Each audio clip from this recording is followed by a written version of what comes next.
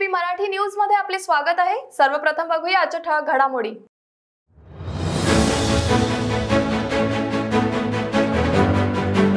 नवाब मलिकांच्या आरोपांवर मुन्ना यादवांचं स्पष्टीकरण. म्हणाले माझ्यावरचे आरोप बिनबुडाचे.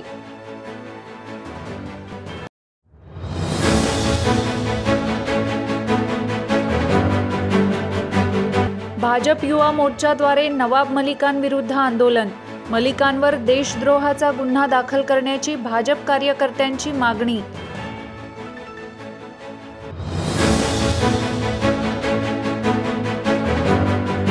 आणि एस टी कर्मचाऱ्यांच्या संपाबाबत सरकारने संवेदनशीलता दाखवावी. विरोधी पक्षनेते देवेंद्र फडणवीस यांचं सरकारला आवाहन.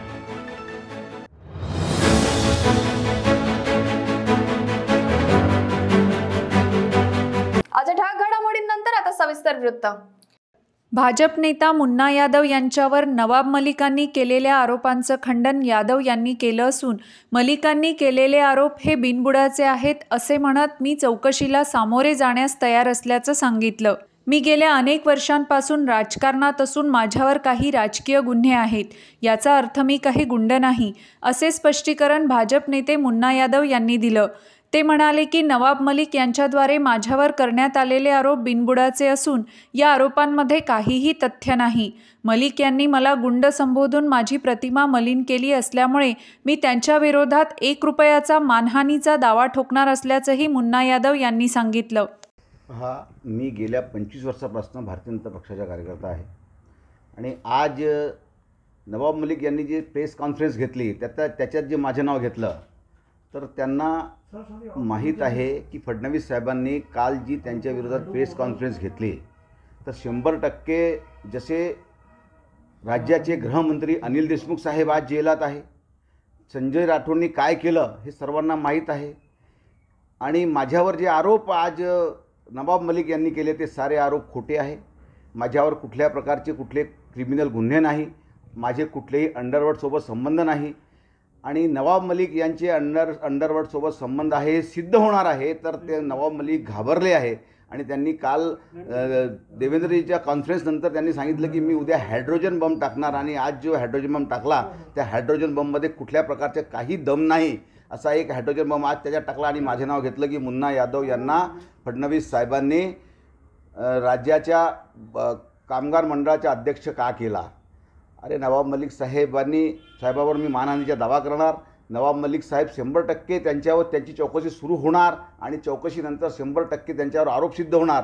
आणि माझ्या अनेक चौकशी झाल्या आणि कुठल्याही प्रकारच्या चौकशीसमोर मी जाण्यास तयार आहे. तर माझी कुठलीही चौकशी नवाब मलिक यांनी करून घ्यावी. नाहीतर मी राजकारणातनं सं माझ्या संन्यास घेणार. नाहीतर त्यांनी मंत्रिपदाच्या तवदीत राजीनामा द्यावा. माझे कुठल्याही प्रकारचे अंडरवर्डसोबत संबंध नाही कुठल्याही प्रकारचे क्रिमिनल केस नाही. माझ्यावर सारे राजकीय केसेस आहे. माझ्या विरोधात निवडणूक लढणाऱ्यासोबत एकदा भांडण झालं त्याचा गुन्हा माझ्यावर आहे. माझ्यावर कुठल्या प्रकारचे कुठल्याही प्रकारचे क्रिमिनल गुन्हे नाही. मला त्यांनी कुख्यात गुंडा म्हटला आहे मी त्यांच्यावर शंभर टक्के मानहानीचा दावा करणार आहे. आणि त्यांची अवकात फक्त एक रुपयाची आहे म्हणून त्यांच्यावर मी एक रुपयाच्या मानहानीचा दावा शंभर टक्के करणार. माझ्या वकिलांची सल्ला घेणार आणि दोन दिवसाच्या आत त्यांच्यावर मानहानीचा दावा करणार. राजकारणासाठी कुठे तुमच्या नावाचं भांडवल केलं जात आहे देश के गद्दारों को जूते मारो सालों को देश के गद्दारों को जूते मारो सालों को देश के गद्दारों को जूते मारो मुर्दाबाद मुर्दाबाद मुर्दाबाद मुर्दाबाद मुर्दाबाद राष्ट्रवादी काँग्रेस पक्षाचे नेता नवाब मलिक यांच्यावर देशद्रोहाचा आरोप लावत भारतीय जनता युवा मोर्चाने नवाब मलिक यांच्या विरुद्ध आंदोलन केले. या आंदोलनादरम्यान मलिक यांचा पुतळाही जाळण्यात आला. राष्ट्रवादीचे नेता नवाब मलिक यांनी एका देशद्रोह्यासोबत जमिनीचे व्यवहार केले असा आरोप माजी मुख्यमंत्री देवेंद्र फडणवीस यांनी केल्यानंतर राजकीय वातावरण चांगलंच तापलं. फडणवीसांच्या बयानानंतर एकमेकांवर आरोपांची फैरीत जणू झाडण्याला सुरुवात झाली. मलिकांच्या आरोपानंतर बुधवारी मलिक यांच्यावर देशद्रोहाचा गुन्हा दाखल करण्याची मागणी भारतीय जनता युवा मोर्चाच्या वतीनं करण्यात आली. इतकंच नाही तर नवाब मलिक यांच्याविरुद्ध आंदोलन करून त्यांचा पुतळाही जाळण्यात आला. यावेळी भाजप युवा मोर्चाच्या अध्यक्षा शिवानी दाणी म्हणाल्या की मलिकांचं वागणं अतिशय निंदनीय असून मुन्ना यादव यांच्यावर करण्यात आलेले आरोप राजकीय सुडाचाच एक भाग आहे. आज आम्ही देशद्रोही नवाब मलिक यांच्या विरुद्ध इथे आंदोलन करतोय. भारतीय जनता युवा मोर्चातर्फे हे आंदोलन होत आहे. ज्या प्रकारे नवाब मलिक यांनी आतंकवाद्याशी संबंध असलेल्या लोकांकडून जमिनीचे व्यवहार केले जे अतिशय निंदनीय आहे. आतंकवाद्यांशी संबंध ठेवणं हे कुठल्याही कुठल्याही परिस्थितीमध्ये आम्ही सहन करू शकत नाही. हे हा एक न कुठलंही म्हणजे याला देशद्रोहच म्हणतात आणि देशद्रोही नवाब मलिकचा आम्ही इथे निषेध करतो आहोत. नवाब मलिक यांनी तत्काळ राजीनामा द्यावा ही भारतीय जनता युवा मोर्चाची मागणी आहे. मुन्ना यादववर वेगवेगळ्या केसेस असतील पण आमचे नेते आहेत. मुन्ना यादववर कुठली ड्रगची केस नाही कुठली इतर अशा संबंधित केस नाही. हे स राजकारणाचा सूड उगवण्याचा कार्यक्रम नवाब मलिक करतात कुठलं तरी शिंतोडे उडवायचे देवेंजींवर शिंतोडे उडवायचे त्यांचे मित्र म्हणून त्यांच्याबद्दल बोलायचं. याच्याशिवाय याच्यामध्ये कुठलंही तथ्य नाही. एस टी कर्मचाऱ्यांच्या संपाबाबत सरकारची भूमिका असंवेदनशील असून हा संप चिघळू नये असं आम्हाला वाटतं. पण सरकार दबाव तंत्राचा वापर करत आहे. हे आंदोलन चिघळण्याचा प्रयत्न होत असेल तर ते अजून वाढेल. त्यामुळे चर्चेतून मार्ग काढायला हवा असे मत विरोधी पक्षनेते देवेंद्र फडणवीस यांनी प्रसारमाध्यमांजवळ व्यक्त केलं. एस टी महामंडळाच्या संपाच्या संदर्भात सरकारची भूमिका असंवेदनशील आहे. हा संप चिघळू नये अशी आमची देखील या ठिकाणी आम्हाला देखील वाटतं. परंतु सरकार हे केवळ दमणशाहीच्या भरोशावर दाबून आणि लोकांवर वेगवेगळ्या प्रकारची कारवाई करून हे आंदोलन चिरडण्याचा प्रयत्न करेल तर ते आंदोलन अजून वाढेल. चर्चेतनं मार्ग काढला पाहिजे आणि त्यातनं मला असं वाटतं की काही ना काही दिलासा या कर्मचाऱ्यांना सरकारने दिला पाहिजे. इतक्या आत्महत्या झाल्यानंतरही सरकार जर जागा होणार नसेल तर मला असं वाटतं चुकीचं आहे. एस टी कर्मचाऱ्यांच्या मागण्यांच्या संदर्भात आमचे गोपीचंद पडळकर असतील आमचे वेगवेगळे आमदार असतील सदाभाऊ खोत असतील सगळे लोक आज आंदोलन त्या ठिकाणी करतायत. आणि मला असं वाटतं की सरकारने याची दखल घेतली पाहिजे. आम्हीही सरकारला पाहिजे तेवढं सहकार्य करायला तयार आहोत पण मार्ग काढून हा संप मिटवण्याकरता सरकारने पुढाकार घ्यावा. अवैधरित्या दारूची विक्री करणाऱ्या एका रेस्टॉरंटवर पाचपावली पोलिसांनी छापा मारून कारवाई केली. या कारवाईत पोलिसांनी सात आरोपींसह मोठ्या प्रमाणात दारू जप्त केली. अवैधरित्या दारू विक्री करणाऱ्या लोकांच्या पाचपावली पोलिसांनी मुसक्या आवळत त्यांच्यावर कारवाई केली. मिळालेल्या माहितीनुसार पाचपावली पोलिसांना गुप्तरित्या माहिती मिळाली होती की कामठी रोड स्थित गुरुपाल रेस्टॉरंट इथे छुप्या पद्धतीने दारू विकण्यात येत आहे. पोलिसांनी त्वरित या माहितीच्या आधारे रेस्टॉरंटवर छापा मारून कारवाई केली व सात आरोपींना मुद्देमालासह आपल्या ताब्यात घेतले. काल दिनांक रोजी एकोणीस एकोणीस वाजता दरम्यान माननीय D C P sir Shri राजमान्य sir यांच्या मार्गदर्शनाखाली कंट्री लिकर देशी दारूचे दुकान मालक ईश्वरलाल जयस्वाल यांच्या देशी देशी दुकानावर कारवाई करण्यात आली. त्यामध्ये हा देशी अ, देशी दारूचे दुकानदार हा ग्राहकांना सोयीच्या लिहाकरता दुकानाच्या समोर शेड लावून त्या ठिकाणी द- खुर्च्या वगैरेचे अरेंजमेंट करून त्यांना दारू गिलास पाणी असे खाद्यपदार्थ पुरवताना मिळून आले आणि त्याच्यावर हे सदरची कारवाई करण्यात आली. यामध्ये एकूण सात आरोपी करण्यात आले आणि जप मुद्देमाल हा त्या ठिकाणी मिळून आलेला मुद्देमाल जप्त करण्यात आले. सर कलम का त्यामध्ये यामध्ये अपराध क्रमांक नऊशे नऊशे सत्तेचाळीस ऑब्लिक दोन हजार एकवीस कलम अडुसष्ट ब्याऐंशीप्रमाणे सदरची कारवाई करण्यात आली. बुधवारी नागपुरातील संविधान चौकात शहर विकास मंचाद्वारे घरकुल संबंधित विविध मागण्यांसाठी आंदोलन करण्यात आले. या आंदोलनाला मोठ्या संख्येने शासकीय योजनेचे लाभार्थी उपस्थित होते. नागपूर शहरात झोपडपट्टी मालकी पट्टे रजिस्ट्री प्रक्रिया मागील वर्षापासून प्रलंबित आहे. रमाई आवास योजना शबरी आवास योजना व प्रधानमंत्री आवास योजनांचा निधी सरकारद्वारे थांबविण्यात आल्यामुळे लाभार्थ्यांचे घरकुलाचे कामही ठप्प पडले आहे. या गंभीर समस्येकडे प्रशासनाचं लक्ष वेधण्यासाठी शहर विकास मंचाद्वारे संविधान चौकात प्रदर्शन करण्यात आले. यावेळी शासकीय योजनांचा निधी लवकरात लवकर देण्याची मागणी करत आंदोलनकर्त्यांनी आंदोलन केले. माझी माग ही आहे की मला पहिला चेक एक लाखाचा मिळाला आणि एक लाखानंतर मग लॉकडाऊन लागलं दुसरा चेक मिळाला नाही. आज मी एक लाख रुपयाचा चेक दुसरा मिळेल बा म्हणून दुसऱ्याकडनं पैसे घेतले. एक लाख रुपये त्या एक लाखा रुपयाचे दहा हजार रुपये महिन्याची व्याजच देत आहे पण दुसरा चेक आलेला नाही.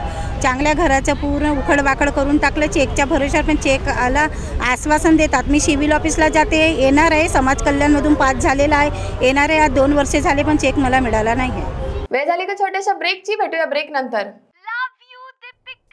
बाय सब जानना चाहते हैं। मेरा फेवरेट कलर मेरा फेवरेट डेस्टिनेशन मेरी फेवरेट डिश पर कोई ये नहीं पूछता कि फेवरेट डिश मैं बनाती कैसे हूँ। अरे यार जिसे टेस्टी खाना पसंद है वो अच्छे टेस्ट तक पहुँच ही जाता है। सुरुचि मसाले। खाने में हो रुचि तो घर लाइए सुरुचि। अपने सपनों की उड़ान भरने की इच्छा तो हर किसी की होती है। पर पंख भी तो मज़बूत होने चाहिए। जो देता है Flywheel aviation academy Flywheel aviation academy एक ऐसा इंस्टीट्यूट है जहाँ पर एयरलाइंस एंड एयरपोर्ट हॉस्पिटैलिटी और टूरिज़्म मैनेजमेंट साथ ही यहाँ campus interview guidance by industry expert practical training at airport expert faculty personal grooming जैसे कई सारे बेनिफिट्स आप पा सकते हैं। Flywheel aviation academy one degree three job opportunities Flywheel aviation academy gives you a degree और diploma with a job Flywheel aviation academy 365 Gandhinagar LAD college square beside Karnataka bank Nagpur break नंतर आपले स्वागत आहे कामगार एकजुटीचा शासनात विलीनीकरण झालेच पाहिजे. एसटीचे शासनात विलीनीकरण झालेच पाहिजे. एसटीचे शासनात विलीनीकरण झालेच पाहिजे. कामगार एकजुटी एस टी महामंडळ कर्मचाऱ्यांच्या मागण्यांवर तोडगा न निघाल्याने दिवसेंदिवस एस टी कर्मचाऱ्यांचा संप चिघळत चालला आहे. रामटेक डेपोमध्येही आंदोलनाचा चौथा दिवस असून एस टी कर्मचाऱ्यांच्या सर्व मागण्या पूर्ण करण्यासाठी येथील कर्मचाऱ्यांनी रामटेक आगार प्रमुख भोगे यांना निवेदन दिलं आहे. या निवेदनात कर्मचाऱ्यांनी महाराष्ट्र राज्य मार्ग परिवहन हे महाराष्ट्र राज्य शासनात विलिनीकरण करून सर्व वेतन भत्ते व इतर सवलती लागू करून त्वरित देण्यात याव्या अशी मागणी करण्यात आली आहे. की जेव्हा आमचं पोटच नाही भागत तर तेव्हा आम्ही काय करणार? आज मला आठ वर्ष माझी सर्व्हिस होऊन माझ्या हातामध्ये अठरा हजार पूर्ण वेतन मिळते. अठरा हजारमध्ये त्याच्यानंतर त्याच्यामध्ये किराया चार हजार जातो. तर राहते काय? काहीच नाही राहत. कटू फिरून हातामध्ये बारा हजार रुपये वेतन येते. पी एफ पी एफ वगैरे कटून. तर याच्यामध्ये असे अतोनात हाल अशा आमच्या कर्मचाऱ्याचे होत आहे. त्याच्यामुळे आम्हाला ना इला जास्त ना इला जास्त आम्हाला हे आमच्या हक्काच्या मागणीसाठी आम्हाला येण या दिवाळीच्या वेळेस आम्हाला संप करण्याचं काम पडलेलं आहे. आणि आमची फक्त एकच मागणी आहे ती म्हणजे आम्हाला शासनात विलिनीकरण घ्या. कारण की आम्हाला शासन जेव्हा बी आम कोरोनाच्या काळामध्ये आम्हाला द्या पैसे पेमेंट करायसाठी. हर जी अशी मागणी असते की नाही वेळेवर पेमेंट नाही होत. जे आज आमच्या या आर्थिक योजनेतून आज आमच्या छत्तीस बांधवांनी या जीवनाला कंटाळून त्यांनी आत्महत्या केलेली आहे. तर याच्यामुळे एक जो आक्रोश निर्माण झालेला आहे कर्मचाऱ्यांमध्ये जोपर्यंत आमची ही मागणी पूर्ण होणार नाही तोपर्यंत आम्ही कोणत्याही परिस्थितीमध्ये आमचा जो संप आहे तो मागे घेणार नाही. त्या आमच्यावर कोणतीही कारवाई हो काही हो त्या आम्हाला नि- निलंबित मुंबईच्या शौर्य पागवान या युवकाने मुंबई ते नागपूर सायकलने प्रवास करत चित्रपटाचं प्रमोशन केलं. येत्या बारा नोव्हेंबरला मराठी चित्रपट जयंती प्रदर्शित होणार असून या चित्रपटाचं प्रमोशन करण्यासाठी शौर्य मुंबईवरून नागपूरला सायकलने आला. यावेळी त्याने चित्रपटाबद्दल अधिक माहिती दिली. माझं नाव आहे शोएब पागवान. मी आता येण्या येत्या बारा तारखेला जो आपला सगळ्यांचा हक्काचा सण म्हणजे जयंती हा मराठी सिनेमा येतो आहे त्याच्या प्रमोशनसाठी आज नागपूरमध्ये पोहोचलो आहे मी मुंबईवरून निघालो आहे मुंबई ते नागपूर. असा माझा सायकल रन होता. मी सायकलवरती जयंती सिनेमाचा प्रमोशनसाठी मुंबईहून निघालो होतो तर एकंदरीत पंधरा दिवसामध्ये मी आज नागपूरला पोहोचलो आहे नागपूरमध्ये सर्व टीमने आज माझं इथं स्वागत केलं आहे आणि ऑन द वे असताना सगळ्याच लोकांनी इतका भरभरून प्रतिसाद दिला आणि इतकं प्रेम दिलं जयंतीसाठी. मी शब्दात व्यक्त नाही होऊ शकत. तर मी सगळ्यांना एवढंच सांगेन की येत्या बारा तारखेला आपल्या जवळच्या थिएटरला जाऊन जयंती सिनेमा सगळ्यांना पाहायचा आहे. ही आमची सगळी टीम आहे आणि आमचे कलाकार आहेत. ज्यांनी जयंती सिनेमामध्ये वकिलांचा रोल केला आहे नागेश नागेश बुरबुरे सर हे देखील आमच्या सोबतला सोबतीला आहेत. त्यांनी माझं वेलकम केलं इथं नागपूरमध्ये. सगळ्यांचं थँक्स आणि सर्वांना आव्हान आहे की सर्वांनी मराठी सिनेमा जयंती हा येत्या बारा तारखेला आपल्या थिएटरला जाऊन पाहायचा मी नागेश बुरबुरे या जयंती तर जे फाउंड फाउंडेशन होतं ते तयार करण्यापासनं आम्हाला सर्व टीमला खूप त्रास झाला आणि लोकांकडनं कलेक्शन काढून आम्ही हा जयंती पिक्चर स्वबळावर उभ उभारलेला आहे. जेणेकरून आम्ही नागपूरमध्ये मोठंचं मोठं एक थिएटर उभं करण्याचा आम्ही प्रयत्नात आहोत. जेणेकरून प्रत्येक वराडी इथली नागपूरची भाषा आणि इथल्या लोक इथले लोक कलाकारमध्ये येतील ही आमची अपेक्षा आहे. या यामुळेच आम्ही हा जयंती सिनेमा हा काढलेला आहे. आणि या सिनेमाला आपण सर्वांनी खूप भरघोष प्रसि प्रसिद्ध प्रतिसाद द्यावा हीच आम्ही सर्व नागपूरवासियांना विनंती करतो जय भीम.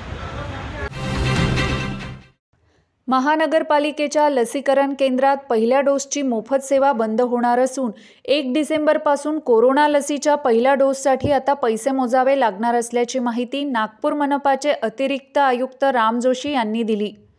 राज्य सरकारच्या आदेशानुसार तीस नोव्हेंबरपर्यंत पहिल्या डोसचे संपूर्ण लसीकरण करण्याचे उद्दिष्ट ठेवण्यात आले होते. मात्र अद्यापही काही लोकांनी कोरोना लसीचा पहिला डोस घेतलेला नसल्याचं पालिकेच्या निदर्शनास आल्यामुळे एक डिसेंबरपासून पहिला डोस मोफत न देण्याचा निर्णय घेण्यात आला आहे. आता पहिला डोस घेण्यासाठी नागरिकांना खासगी रुग्णालयात पैसे मोजावे लागण्यात येणार असल्याचं राम जोशी यांनी सांगितलं. ते म्हणाले की राज्य सरकारच्या वतीनं पर्याप्त मात्रामध्ये लसीचा कोटा उपलब्ध करून देण्यात येत आहे. तीस नोव्हेंबर नंतरही तो उपलब्ध करून देण्यात येईल. मात्र तो केवळ अत्यावश्यक सेवेअंतर्गत येणाऱ्या लोकांनाच दिला जाईल. नागपुरात अठरा वर्षावरील नागरिकांची संख्या एकोणवीस लाख त्र्याहत्तर हजार असून आतापर्यंत दोन लाख सत्तर हजार नागरिकांनी लसीचा एकही डोस घेतलेला नाही. त्यामुळे नागरिकांनी नोव्हेंबरच्या आत हा पहिला डोस पूर्ण करावा असे आवाहन जोशी यांनी केले.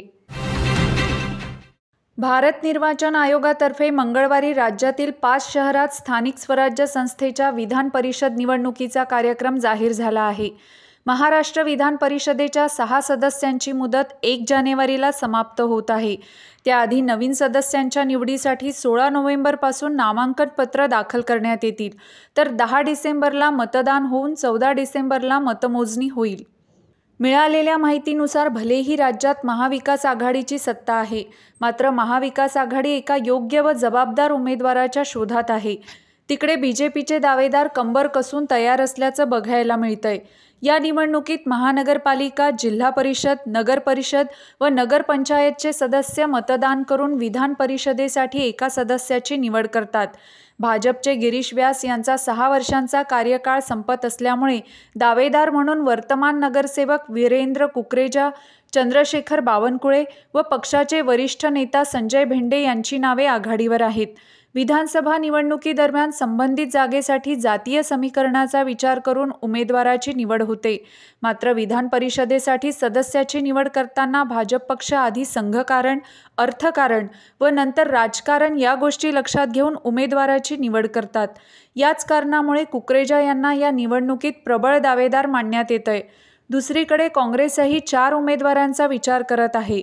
त्यात सर्वात वर राजेंद्र मोळक यांचं नाव असून दुसऱ्या नंबरवर अमोल देशमुख आहेत. काही नावं अशीही आहेत जे सध्या काँग्रेस पक्षात नाहीत. मात्र वेळेवर पक्षात प्रवेश करून या तिकिटावर आपला ताबा मिळवतील. तर आज विकेबी मराठी न्यूजमध्ये एवढंच. उद्या पुन्हा भेटूया नवीन घडामोडींसह. बघत राहा विकेबी न्यूज नमस्कार.